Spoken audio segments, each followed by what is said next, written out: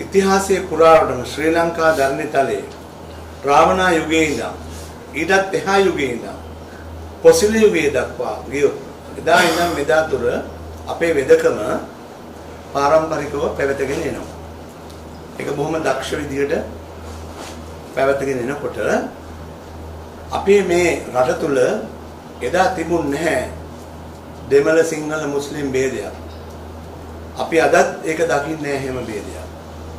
ඒ නිසා අපි දකින්නේ මේක සිව් හෙලේ කියලා. සිව් හෙලේ කියන්නේ යක්ක ගෝත්‍රය, නාග ගෝත්‍රය, දේව ගෝත්‍රය, රාක්ෂ ගෝත්‍රය. යක්ෂයෝ කියන්නේ කවුද? යක්ෂයෝ කියන්නේ ලීඩර්ස්ලා, නායකයෝ. දේව ගෝත්‍රය කියන්නේ කවුද? දේව ගෝත්‍රය කියන්නේ අපේ ගෞරවනීය සංඝරත්නයේ ප්‍රමුඛ පූජ්‍ය ප්‍රසාදීන් වහන්සේලා. වෛද්‍යවරු, නර්තන කණ්ඩායම්, බොහොම සාම ගුරුවරු, ගුරු භවතුන් වගේ පිරිස තමයි නියෝජනය වෙන්නේ මේ දේව ගෝත්‍රය. එතකොට නාග ගෝත්‍රිකයෝ කියන්නේ කවුද? නාග ගෝත්‍රිකයෝ කියන්නේ ව්‍යාපාරික ප්‍රජාව.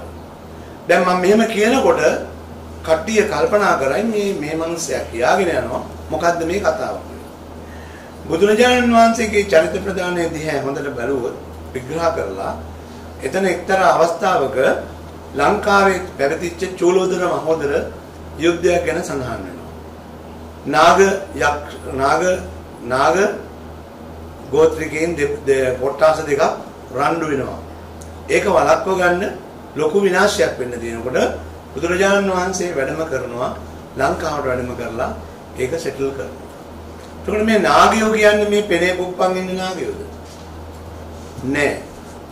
මේ ඇයි මේ චූලෝදර මහෝදර රණ්ඩු වෙන්නේ? මැණික් පුටුවක්. මැණික් පුටුවකට අතක ගා ඉන්නද? නෑ. ඒකේ මොකක් හරි ව්‍යාපාරයක් තමයි සිද්ධ කරලා තියෙන්නේ. එතකොට මේ නාග ගෝත්‍රිකයෝ කියන්නේ ව්‍යාපාරික. ඒ වගේම බුද්ධ චරිතයම අපි උපයෝගී කරගත්තොත් මුචලින්ද නාගදරණ යටතේ සස්සතියේ එක සතියක් ගත කරනවා. මේ මුචලින්ද නාගය කියන්නේ මහා ලොකු පෙනයක් කුප්පගෙන ඔතාගෙන බුදුරජාන් වහන්සේ වැළඳගෙන ඉන්නවද? නෑ.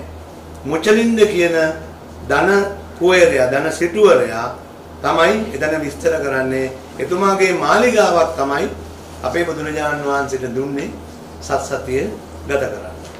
ඉතින් එතකොට ඒක එහෙම වෙනවා. ඊගාවට ඒ නාග ගෝත්‍රිකයෝ ගැන. දැන් අපි රාක්ෂ ගෝත්‍රයට ආවොත් රාක්ෂ ගෝත්‍රය කියන්නේ කවුද? කුසරැක්කා, රකුසා. රකුසා කියන්නේ කවුද? ගොවියා. තියෙනවා සින්දුවක් රාශිගේ අවුව වැටි දඹරන්නු ඔබ කෙරෙදි. සුරන් සමග පොර බැඳුවා. මේ රාශිගේ අවුව කියන්නේ මොකද්ද? රාශියාගේ ගෑනු සතා රාශි එළියට බහැලා වී මිනේරි තල ටික අකුලන වෙලාව. ඒ අවුව තමයි අර හවස 3ට 3:00මාරට ඉඳලා පායන අවුව. එතකොට මේ අවුවෙන් දමරන්තරම් පාට වෙච්ච කෙහෙරැලි ඉන්නේ රාශි. කවුද මේ? ගෙවිලිය. එතකොට මේ තුන මේ හතර මේ ගෝත්‍ර හතරේ සම්භවය තමයි සිව් හෙලය සිව් හෙලය මේගොල්ල ගත කරන ජීවිත ගත කරන විලාසය. මේ විද්‍යාව තමයි සිව් හෙල වේදය. සිව් හෙල වේදය සිහෙල වේදය බවට පත් කරලා අපි කියනවා සිහෙල වේදේ වෙදකම. සිහෙල වේදේ කොවිතැන. සිහෙල වේදේ නර්තන කලාව. සිහෙල වේදේ සටන් කලාව. අද මම මේ මේ කියන කොයි ක්ෂේත්‍රයකටවත් කවුරුත් දීලා තියනවද? අර්ථකතන නෑ. සියල සටන් කලාව. අංගම්පුර සටන් කලාව ඇහුවොත් අංගම්පුර සටන් කලාවට තැනක් තියනවද? නෑ. පොදු රාජ්‍ය මණ්ඩලීය මේ ක්‍රීඩා වලකට සහභාගී වෙනවද? නෑ. ආසියාතික ක්‍රීඩා වලටවත් යනවද අඩු ගානේ ජාතික මට්ටමටවත් ඇවිල්ලා තියෙනවද? නෑ. අපි හදන්නේ මෙන්න මේ විද්‍යාව තුලින් මෙන්න මේ වෙදකම තුලින් මේ සියලු දෙනාටම ගැළපෙන වටාපිටාවක් නිර්මාණය කිරීම තමයි අපේ මුඛ්‍ය පරමාර්ථය. ඒ පරමාර්ථය කරගන්න නම් අපි මේ අවුරුද්දක් තිස්සේ අවුරුදු එකමාරක් තිස්සේ සම්බන්ධ වීගෙන ආවා අපේ වාසනාවට සමන් රත්නප්‍රිය මහත්තයා හම්බුණා හම්බුණා පැය 24ක් යන්න කලින් මේ සියලු දේවල් අපිට නිර්මාණය කළා. අපි අවුරුදු 4ක් තිස්සේ බලන් ඉඳපු මාධ්‍ය සාකච්ඡාව අපිට එක විනාඩි 5න් එතුමාට ලබා දෙන්න පුළුවන්. ඒ අපේ දක්ෂ නායකයා අපේ මේ වෙද මහත්තුරු අපි මේ වෙද වෙදකම් කරන අය පාරම්පරික වෙද මහත්තුරු වෙද හාමුදුරුවරු කවදාක්වත් පක්ෂපාත බලලා වැඩ කරන අය නෙමෙයි. හැබැයි පවතින රාජ්‍යත්වයේ සම්පූර්ණ ගරු කරන ජීවත් වෙන පිරිසක්. ඒකට පවතින අද රටේ රජුරෝ කවුද? රනිල් වික්‍රමසිංහ. මෙතුමා හැරුණකොට වෙන කිසිම කෙනෙකුට අපි හොඳාකාරව දන්නවා මම මම සපත කරනවා මෙතන මේ දේ කරන්න බෑ. කරන්න පුළුවන් වුණා නම් ඇයි කළේ නැත්තේ? අද බොලිවුඩ් සිනමාව කිව්වොත් ඉන්දියානු සිනමාව. හොලිවුඩ් සිනමාව කිව්වොත් ඇමරිකානු සිනමාව. හෙලවුඩ් කිව්වොත් ලාංකේය සිනමාව. ඊට අමතරව තව සිනමාවල් ගොඩක් තියෙනවා. හැබැයි අපේ පාරම්පරික වෙදකම කොහෙද යන්නේ? අන්න බලන්න Google search කරලා. ආයුර්වේදයක් ගැන විතරයි කතා කරන්නේ. එතකොට අපිට සිද්ධ වෙලා තියෙනවා ඒකට මුවා වෙලාම ජීවත් වෙන්න. ඇයි අපේ මෙච්චර අනන්‍යතාවයක් තියෙද්දි අපේ මේ දක්ෂ වෙද මහත්තුරු වෙද හාමුදුරුවරු මේ වෙද නෝනලා ඉන්නේද්දි ඇයි අපි මේ අනුන්ගේ වෙදකමක් යන්නේ? එතකොට ලංකාව තුල හෝමියෝපති, ඇලෝපති, සිද්ධි, යුනානි ආදී වශයෙන් වෛද්‍ය කර්ම බර ගාණක් තියෙනවා. හැබැයි හෙළ වෙදකමට, සිහෙළ වෙදකමට එහෙම වෛද්‍ය සභාවක් නැහැ. අපි ඉල්ලනවා ගරු ජනාධිපතිතුමාගෙන් ඔබතුමා අපි මීට කලින් කෙටුම්පත් සකස් කරලා දීලා තියෙනවා. අපි මීට කලින් ඔබතුමාට දැනුවත් කරලා තියෙනවා අපි ඔබතුමාගේ බොහොම බැගෑපත්ව යටහත් පහත් ඉල්ලනවා ඔබතුමාගේ මේ දූර කාලයේ ඉවර වෙන්න කලින් මේකට අත තියන්න කරුණා කරලා මොකද එහෙම කළොත් අපේ මේ වෙද પરම්පරාවල් ටික රැකේ. එහෙම නොවුනොත් මේ වෙද પરම්පරාවට මේ සියල වේදයට දෙයියන්ගේම පිටයි. එච්චර තමයි කියන්න දෙන්නේ ඇත්ත කතාව. ඒතකොට ඒ වගේම ගත්තොත් අපේ අපි සූදානමින් ඉන්නවා විශ්වවිද්‍යාල මට්ටමින් අපේ පසු પરම්පරාව අපෙන් අපිට පස්සෙන් ඉන්න තරුණ කොටස් උගන්වන්න විශ්වවිද්‍යාලයක් නිර්මාණය කරලා තියෙනවා. එතකොට අපේ යාන්ත්‍රණය බොහොම බලවත් යාන්ත්‍රණයක් තියෙනවා. ලංකාව පුරාම අපි දන්න විදිහට ලංකාව පුරා තියෙනවා ග්‍රාම සේවා වසම් 14700 ගාන. ගම්මාන ගත්තොත් 50000කට කිට්ටු වෙන්න තියෙනවා ගම්මාන. ඔක්කොම එකතු කරලා බැලුවොත්. මේ හැම ගමකම වෙද පවුලක් අනිවාර්යෙන්ම ඉන්නවා. එතකොට හිතන්න අපේ වපසරිය කොච්චරද කියලා. අපේ පදනම කොච්චරද කියලා. මේ හැමෝම අගතියටපත් වෙලා තියෙන්නේ. මේ හැමෝම සුගතියට දාන්න පුළුවන්.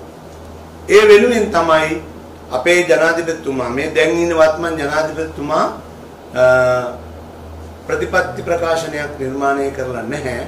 එතුමා ප්‍රතිපත්ති ප්‍රකාශනය තුල ගෝඨාභය රාජපක්ෂ මැතිතුමාගේ ප්‍රතිපත්ති ප්‍රකාශනයම තමයි එතුමා ගෙනියන්නේ. ඒකේ පැහැදිලිව තියෙනවා මේ මැනිෆෙස්ටෝ එකේ 25 වෙනි පිටුවේ 8 වෙනි ඡේදයේ අනිවාර්යයෙන්ම පාරම්පරික වෛද්‍ය සභාවක් පිළිටවනවා. එතකොට එතුමාට ඒක මතක් වුණා. එතුමාගේ හිටපු නිලධාරීන් ටිකට බැරි වුණා ඒක කරලා දෙන්න. අපි ගෞරවයෙන් ඉල්ලනවා අපේ රනිල් වික්‍රමසිංහ ජනාධිපතිතුමාගෙන් මේ අවස්ථාව අපිට දීලා බලන්න. මොකද ඒ විතරක් නෙමෙයි අපිට පුළුවන් විදේශ සංචාරක ව්‍යාපාර පිළිබඳව දැවැන්ත වැඩපිළිවෙලක් අපේ තියෙනවා. අද වෙනකොට අපේ වෛද්‍යවරුන් මේ අපේ වෙද හාමුදුරුවෝ ඇතුළු මේ ශ්‍රීමත්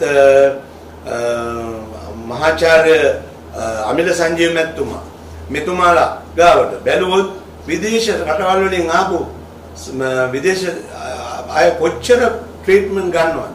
වෙදකම් හෙදකම් කරගන්නවද? අපේ මේ පිටිපස්සේ ඉන්න මේ වෙද මහත්තුරු වෙද પરම්පරාව මුළු මේ මීට අමතරව මේ මේ වගේ නෙමෙයි බර ලංකාව පුරා විසිරී පැතිරී ඉන්න අය. විදේශ රටවල් වල අපිට ඕන කරන ඩොලර්ස් ටික ගේන්න. බලන්න අද මේ වෙද මහත්තුරු ගාවට එක වෙද මහත්තයෙක් අපේ වෙද හාමුදුරුවෝ නිකන් උදාහරණයක් ගත්තොත් දවසකට ලෙඩ්ඩු 300ක් බලනවා. එක ලෙඩෙක් වෙනුවෙන් රජයේ වීදම් කරන මුදල රුපියල් 20000ක් නම් 300 වැඩි කිරීම 20000 කීයද? මේක රජයේ වශයෙන් ගත්තොත් මේ වගේ වෙද මහත්තුරු වෙද හාමුදුරුවෝ ලංකාවේ කොච්චර අමිල සංජීව වෙද මහත්තයා දවසට ලෙඩ්ඩු 300ක් බලනවා. මේ 300ම හන්දිපත් රුදාව නානා ප්‍රකාර ලෙඩ පිළිකා රෝග දරුණු ගණයේ රෝග තත්ත්වය. පාන්දර 3 වෙනකන් ලෙඩු බලන වෙද මහත්තුරු ඉන්නවා. රැයක් දවල්ක් ගැන කිසිම ඇඟීමක් නැහැ. අපි පිකටින් නැහැ. අපේ අරගල නැහැ. ගේට්ටු ගාවට ගිහිල්ලා කෑ ගහන්නේ නැහැ. කළු රෙදි පොරව ගන්න. නැහැ මොකද අපිට මොනවද කියන්නේ අපි කියන්නේ මේ අහිංසක වෙද මහත්තුරුන්ව ජීවන තත්ත්වය උසස් කරගන්න දෙන්න. අපි පෙන්නනවා ඊට පස්සේ රට දියුණු කරන වැඩපිළිවෙල. අපි ගාව විතරයි වෙල්නස් ටුවරිසම් සුවතා සංචාරක ව්‍යාපාරය පිළිබඳව උගන්වන්න පුළුවන් දේශකවරු ඉන්නවා අපි ගාව. අපේ වෙද මහත්තුරු ගාව. අපේ වෙද මහත්තුරු සූදානමින් සැදී පැහැදී මේ දැනුම සම්භාරයක් මහා දැනුම් සම්භාරයක් තියෙන තෙල් වර්ග ඖෂධ වර්ග සියල්ල විදේශ රටවල් වලින් ගේන්නේ නැතුව අපේ ගහේ කොලේ ගහේ පොත්තෙන් ගන්න පුළුවන් දේවල් අරගෙන කරන්න මේ වෙදකම කරන පිරිසක් තමයි මේ ඉන්නේ. ඒ නිසා අපි ඉල්ලනවා කරුණා කරලා මේ අවස්ථාව අපි අතිගරු ජනාධිපතිතුමාගෙන් අපට පොඩ්ඩක් හම්බෙන්න අවස්ථාවක් දෙන්න හම්බෙලා ඔබතුමාව කතා කරලා මේ පිළිබඳව ඉතාමත්ම කඩිනම් ව්‍යාපෘතියක් දියත් කරන්න කුමන හෝ හස්සයකින් මේවා මග හරවන. ඒ මග හරවන්නේ කවුද කියන්නේ අපි නම් දන්නේ නැහැ. ඔබතුමා තමයි දන්නේ. ඔබතුමාට තමයි කරන්න පුළුවන්. වෙන අපේ නම් බලාපොරොත්තුවක් නැහැ. තවත් නායකයෙක් ඉදිරියට ගිහිල්ලා අනේ මේක කරලා දෙන්න කියලා ඉල්ලන්න අපි හොඳ ආකාරව දන්නවා ඒක වෙන්නේ නෑ නෑමයි.